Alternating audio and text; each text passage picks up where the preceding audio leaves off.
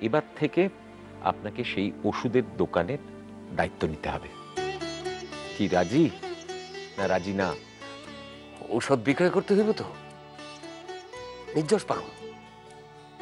লোকের দুয়ারে দুয়ারে ঘুরা কাপড় বিক্রয় করতেছি আর এক জায়গায় বসে ওষুধ বিক্রয় করতে পারো না?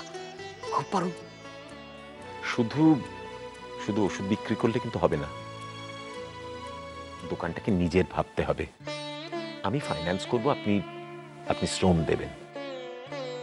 দোকানটা আমাদের দুজনের হবে। মালিকানা অর্ধেক অর্ধেক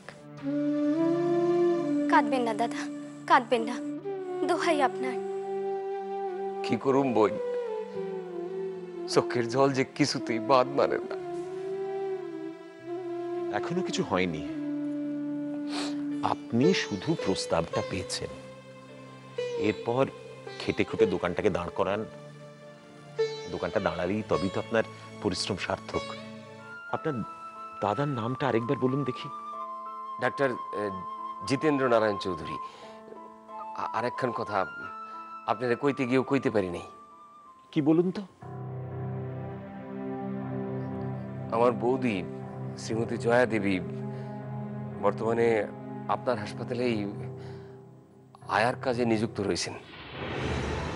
তবে অদৃষ্টের পরিহাস শুধু এই সংসারটারে বাঁচানোর লিগে আজ আমার নাইট শিফট আছে। আমি এখন বেরোবো। মালবিকা আজ থেকে আনন্দ আমাদের এখানে থাকবেন। আমাদের ওই গেস্ট রুমটা তুমি ঠিক করে রেখে দাও। ঠিক আছে। হ্যাঁ ডাক্তারবাবু। আজ থেকে আপনি এখানে থাকবেন। কাল সকালে আমি ফিরে আপনাকে নিয়ে ওষুধের দোকানে যাব। উনি আপনার কে হন? একটু আগে ভর্তি করতে পারলেন না? এত এত দেরি করে ভর্তি করলেন কেন?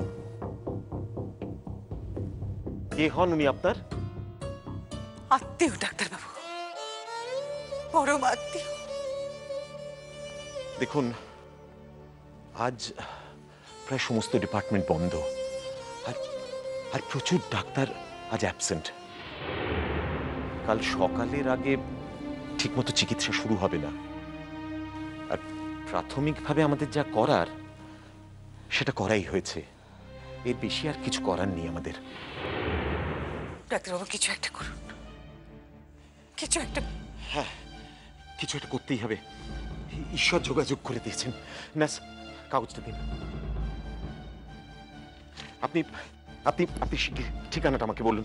আমি আমি ডাক্তারবাবুকে আনার ব্যবস্থা করছি। কিন্তু আপনার হাসপাতালের নিয়ম ভেঙে আমাদের হাতে বেশি সময় নেই জয়া দেবী আপনি ঠিকানাটা বলুন। তাড়াতাড়ি। Two eighty two.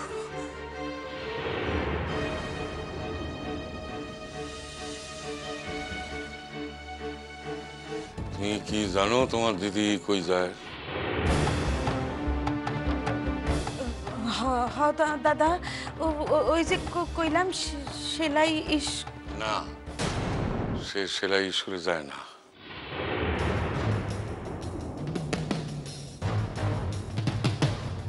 তুমি ঠিকই জানো? আমারে কইতেছ মা তোমারে যদি আমি আমার বুকের ভিতর খান দেখাইতে পারতাম, আমার বুকের ভিতরে যে কি উদ্বেগ চলে, একদিন এই উদ্বেগেই দেখো, আমি ঠিক মরে যাব।